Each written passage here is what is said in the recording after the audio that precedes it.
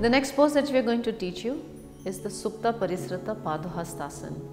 Seated, wide angle, forward bend. In this pose, we are going to open our pelvic area.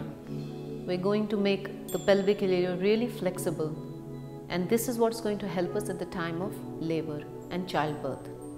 So let's begin. So all you'll need again is a few bolsters and the cushions. You're going to just separate your legs more as wide as you can get. Make them separate them apart as wide as you can. Now if you feel that your spine is hanging back or forward, forward, just take a cushion and place it behind your hip so that your back is upright.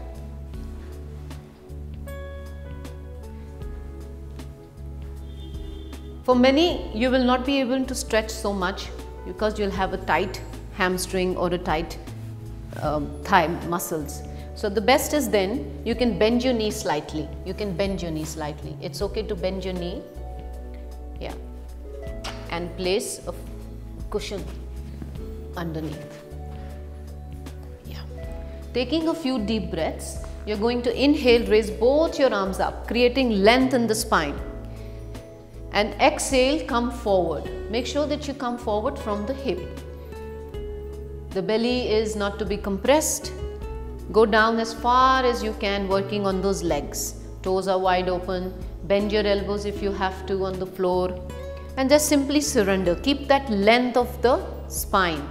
And deep breathing which will nourish. The breath is going to nourish the baby. It's going to send important oxygen into the abdomen. So deep abdominal chest breathing. Hold this pose as long as you can at a comfortable stretch and when you're going to come up all you're going to do is just walk your back, palms back slowly.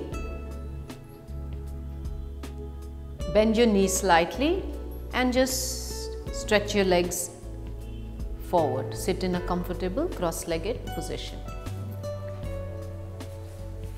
And again once again stay focused to your breath.